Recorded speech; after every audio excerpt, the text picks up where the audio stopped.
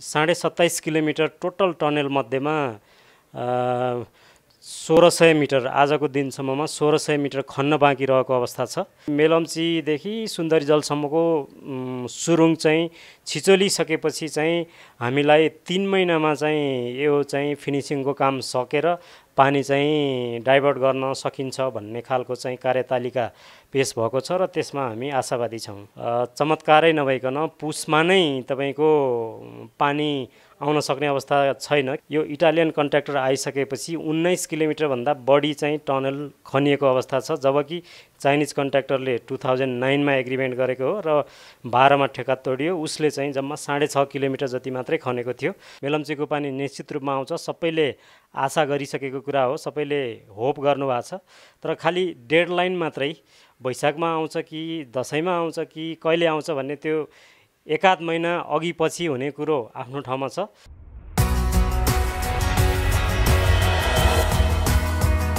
PNP Media for unlimited entertainment and news. नमस्ते यहाँहरू हेर्दै हुनुहुन्छ PNP media private limited Melamchi खानेपानी कहिले आउँछ त भन्ने सन्दर्भमा रहेर हामी यहाँ केही कुराकानीहरू गरिरहेका छौँ र यो कुराकानी जोडौँ। स्वागत छ यहाँलाई। हजुर धन्यवाद। हजुरको परिचय। म रमाकान्त दुवाडी उपकार्यकारी निर्देशक मेलम्ची खानेपानी विकास समिति। खास यो समितिले चाहिँ के के काम गर्छ? कुन कुन क्षेत्रमा चाहिँ काम गरेको छ? हजुर अब यो मेलम्ची खानेपानी विकास समितिले अहिले मेलम्ची खानेपानी आयोजनाको दोस्रो च पहिलो चरणमा चाहिँ मेलम्ची नदीबाट सत्र करोड लिटर पानी डाइभर्ट गरेर मेलम्चीको जुन छब्बिस किलोमिटर लामो सुरुङ छ त्यो सुरुङमा डाइभर्ट गर्ने र त्यस पछाडि जुन सुरुङ मार्फत आएको पानीलाई सुन्दरी जलमा पानी प्रशोधन केन्द्रमा चाहिँ त्यसलाई प्रशोधन गरेर जुन विश्व स्वास्थ्य सङ्गठनको गाइडलाइन अनुसारको नेपालको पनि राष्ट्रिय खानेपानी गुणस्तर मापदण्ड छ त्यो अनुसारको पानी चाहिँ उत्पादन गरेर जुन काठमाडौँमा मेलम्ची खानेपानी आयोजना अन्तर्गतकै अर्को उपायोजना जुन प्रोजेक्ट इम्प्लिमेन्टेसन डाइरेक्टरेट भन्छौँ हामी पिआइडी उहाँहरूको चाहिँ बल्क डिस्ट्रिब्युसन पाइपलाइन सिस्टममा चाहिँ पठाउने हाम्रो काम हो र त्योसँग आबद्ध अरू वातावरणीय सामाजिक खालका कुराहरू पनि हामीले आयोजनाको कार्यक्षेत्रमा गर्दै आइ आइराखेका छौँ।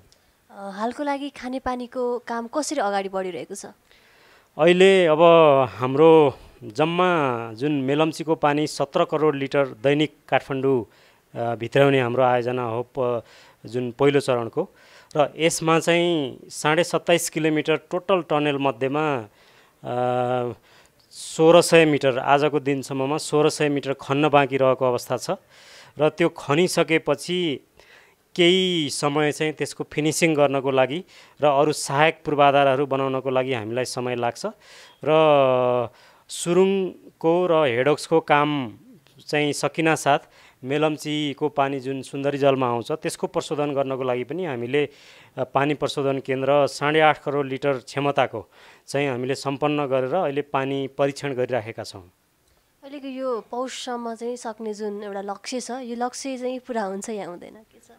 हजुर यस्तो छ अब अहिले चाहिँ हामी हाम्रो जम्मा टनेल खन्ने ठाउँ भनेको चारवटा ठाउँ मात्रै छ चारवटा फेस छन्। पहिले हामीसँग सात आठवटा फेसहरू थिए काम गर्ने ठाउँ घटेको अवस्था छ भने अहिले चाहिँ सुरुङ अब धेरै भित्र गएर हामीले खन्नुपर्ने अवस्था छ र अब निर्माण कम्पनी निर्माण व्यावसायिक कम्पनीको पनि उपकरणहरू अलिकति पुरानो हुँदै गएकोले टाइम टाइममा बिग्रिने त्यसलाई मर्मत गर्नुपर्ने आदि कारणहरूले गर्दाखेरि पहिलेको जस्तो सुरुङ खन्ने गति हाम्रो प्रगति अलि छैन थोरै कम छ।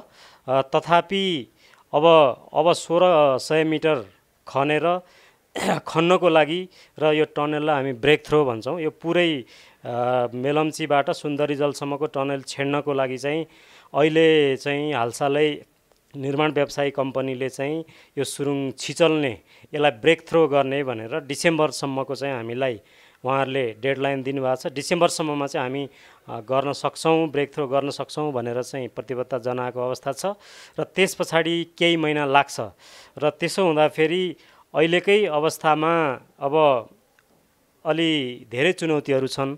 पुसमा पानी सुन्दरी जल ल्याउने भन्ने कुरा र अब हामीले सोचेको भन्दा अब रकहरू पनि राम्रो आयो।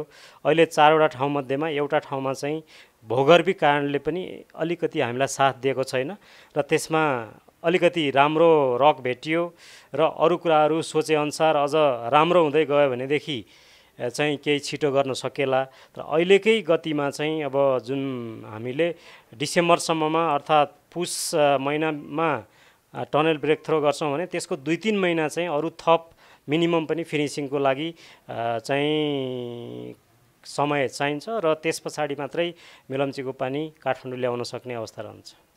डेड लाइन सकेपछि म्याक्सिमम् सकेसम्म चाँडो कति जेलसम्म चाहिँ सकिन्छ होला यो काम? हजुर त्यो जुन यहाँले भने जस्तै मेलम्चीदेखि सुन्दरी जलसम्मको सुरुङ चाहिँ छिचोलिसकेपछि चाहिँ हामीलाई तिन महिनामा चाहिँ यो चाहिँ फिनिसिङको काम सकेर पानी चाहिँ डाइभर्ट गर्न सकिन्छ भन्ने खालको चाहिँ कार्यतालिका पेस भएको छ र त्यसमा हामी आशावादी छौँ। डेढ सकिन्छ कुनै पनि हालतमा सम्भव छैन भन्नु पऱ्यो अहिलेको कन्डिसनमा। होइन अहिलेको अवस्थामा अलि अब अलि चमत्कारै नभइकन पुसमा नै तपाईँको पानी आउन सक्ने अवस्था छैन किनभने सुरुङ छेडिएर मात्रै पानी आउँदैन त्यसपछि कमसेकम तिन महिना चाहिँ त्यहाँ त्यसको भुइँ ढलान गर्नुपर्ने हुन्छ। छब्बिस किलोमिटर सत्ताइस किलोमिटरमा चाहिँ इन्भर्ट लाइनिङ गर्नुपर्छ आरसिसी कङ्क्रिटिङ गर्नुपर्छ भुइँमा। त्यस पछाडि टनेलको वालमा माथि क्राउनमा सबैतिर फाइनल सपोर्टहरू सर्ट क्रिटिङहरू राख्नुपर्ने कुराहरू हुन्छ। त्यसपछि तिनवटा हामीले चाहिँ त्यहाँ हावा अब बढी भएको प्रेसरहरू रिलिज गर्नको लागि तिनवटा भेन्टिलेसन साफ्ट माथि जमिनबाट छेडेर तल टनलसम्म पुर्याउँछौँ। त्यस पछाडि हाम्रो हेडवर्क्समा मुहानमा चाहिँ साठी मिटर जति वान पोइन्ट सिक्स मिटर डायामिटरको चाहिँ डिआई पाइप हामीले जोडेर टनेलमा पानी वैकल्पिक व्यवस्था गरेर पानी डाइभर्ट गर्नुपर्ने हुन्छ भने सुन्दरी जलमा पनि ट्रिटमेन्ट प्लानसम्म चाहिँ अढाई सय मिटर जतिको त्यत्रै वान पोइन्ट सिक्स मिटर डायामिटरको डिआई पाइप जडान गर्नुपर्ने हुन्छ। त्यसै गरी हरेक गेटहरूमा तिनवटा अडिटहरू छन् हाम्रो र इन्टेकमा अडिटमा र सुन्दरी जल आउटलेट च्याम्बरहरूमा चाहिँ हाइड्रोमेकानिकल गेटहरू ठुला ठुला गेटहरू राख्नुपर्ने। आदि कारणले गर्दाखेरि चाहिँ सुरुङ ब्रेक थ्रो हुने बित्तिकै पानी आउँदैन र त्यसलाई केही महिना लाग्छ। भनेपछि यो यो काम चाहिँ यति जल टाइमसम्म सकिन्छ है भन्ने हिसाबले नै डेडलाइन दिनुभएको होला होइन? डेडलाइनसम्म पुरा नहुनुको कारण चाहिँ के हो? के कारणले चाहिँ डेडलाइनमा अथवा टाइममा चाहिँ यो कुरा चाहिँ पुरा हुन सकेन? हजुर केही कारणहरू त अघि पनि मैले यहाँलाई भने अहिले अब अन्तिमको काम भनेको जहिले पनि सामान्यतया अप्ठ्यारो काम नै बाँकी रहन्छ। र अब अहिलेको काम कसरी अप्ठ्यारो भन्दा एउटा त रकले त्यति साथ दिएको छैन अलिक विक रकहरू आएको छ। अर्को चाहिँ तपाईँको अब हामी धेरै बाहिर जुन प्रवेश मार्ग हुन्छ जुन मेन टनेलमा जाने हामी अडिट टनेल भन्छौँ। त्यसबाट चाहिँ साढे तिन चार किलोमिटर भित्र गएर काम गर्नुपर्छ र इक्विपमेन्टहरू भेहिकलहरू जान आउनलाई समय लाग्ने त्यहाँ पड्काएको चिजहरूलाई ब्लास्ट गरेको मकलाई बाहिर ल्याएर व्यवस्थापन गर्नु पऱ्यो त्यसै गरी अर्को चाहिँ नै अब इक्विपमेन्टहरूको चाहिँ जुन समय समयमा मर्मत सम्हार गर्नुपर्ने लगायतका कारणहरूले गर्दाखेरि सोचेअनुसारको चाहिँ प्रगति अलि भएको छैन। तथापि अब यहाँलाई भन्नै पर्दाखेरि गत तिन वर्षमा यो इटालियन कन्ट्र्याक्टर आइसकेपछि उन्नाइस किलोमिटरभन्दा बढी चाहिँ टनल खनिएको अवस्था छ जबकि चाइनिज कन्ट्र्याक्टरले टु थाउजन्ड नाइनमा एग्रिमेन्ट गरेको हो र बाह्रमा ठेक्का तोडियो। उसले चाहिँ जम्मा साढे छ किलोमिटर जति मात्रै खनेको थियो। पछिल्लो समयमा प्रगति राम्रै भएको छ तर धेरै अगाडिदेखि सुरु भएको आयोजना भएको कारणले मान्छेको अलि प्रतीक्षा गर्दा गर्दा अलि थाकिसकेको जस्तो अवस्था भएकोले अलि छिटो भइदिए हुन्थ्यो भन्ने हो। अब धेरै चुनौतीहरू पनि छन्। जोखिमहरू पनि छन् र यो अन्डरग्राउन्ड काम हो। सोचेअनुसार बाहिरको अरू कामहरू जस्तो म्यान पावर बढाएर हुने काम पनि छैन। यसमा बढी चाहिँ इक्विपमेन्टकै कामहरू हुन्छ र यी कारणहरूले चाहिँ हामीले सोचेअनुसारको काम अलि गर्न नसकेको अवस्था हो। तथापि अहिलेसम्मको प्रगति चाहिँ सन्तोषजनक नै मान्नुपर्छ अग पहिलेका तुलनामा। दुई हजार पचहत्तर सालमा चाहिँ उपत्यकामा पानी आइसक्ला त? दुई हजार पचहत्तर सालमा निश्चित रूपमा आउँछ। आउँछ पानी भनेर कुर्दा कुर्दै रहनुभएको यो जुन सर्वसाधनहरू हुनुहुन्छ होइन उहाँहरूलाई चाहिँ के भन्न चाहनुहुन्छ? अब पहिले पहिले चाहिँ के चिन्ता हुन्थ्यो भने मेलम्चीको पानी आउँछ कि आउँदैन भन्ने खालको चाहिँ क्वेसनहरू हामीलाई आउँथ्यो भने अब अचेल चाहिँ हामीलाई मेलम्चीको पानी कहिले आउँछ भने आउँदैन भन्ने कुरा छैन।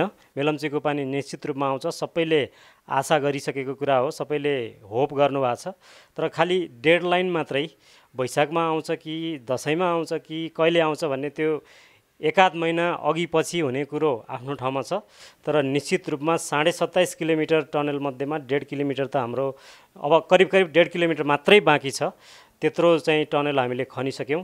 र हेडवर्क्समा पनि हामीले टनल सु टनल चाहिँ क्लियर हुने बित्तिकै त्यो पानी चाहिँ हेडवर्क्समा पानी हामीले हाल्न सक्छौँ र पानी प्रशोधन केन्द्र पनि निर्माण करिब करिब भइसक्यो र त्यो कारणले गर्दाखेरि अब चाहिँ धेरै प्रतीक्षा गर्नुपर्ने अवस्था छैन र अब अब डिसेम्बरसम्ममा चाहिँ हाम्रो टनल ब्रेक थ्रो भयो भने त्यसको तिन महिना जति चाहिँ हामीलाई फिनिसिङको लागि समय लाग्छ र सबै कुरो अपेक्षा गरेअनुसार सोचेअनुसार भयो भने चाहिँ अब हामीले त्यति धेरै कुर्नुपर्ने अवस्था छैन। निश्चित रूपमा मेलम्चीको पानी आउँछ र यो पानी ल्याउनको लागि प्रत्यक्ष अप्रत्यक्ष रूपमा चाहिँ सहयोग गर्ने सम्पूर्ण आम दाजुभाइ दिदीबहिनीलाई म मेलम्ची खानेपानी विकास समितिको तर्फबाट धैर्य धारण गर्नलाई र विशेष गरी मेलम्ची उपत्यका र काठमाडौँ उपत्यकावासीले जुन देखाउनु भएको सदाशयता र सहयोगको लागि चाहिँ म धन्यवाद पनि दिन चाहन्छु।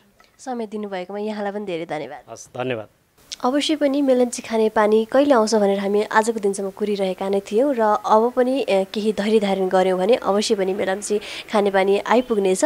र यसै भिडियोसँग रिलेटेड केही कमेन्ट्सहरू छन् भने तपाईँले तलको कमेन्ट बक्समा गएर कमेन्ट पनि गर्न सक्नुहुनेछ।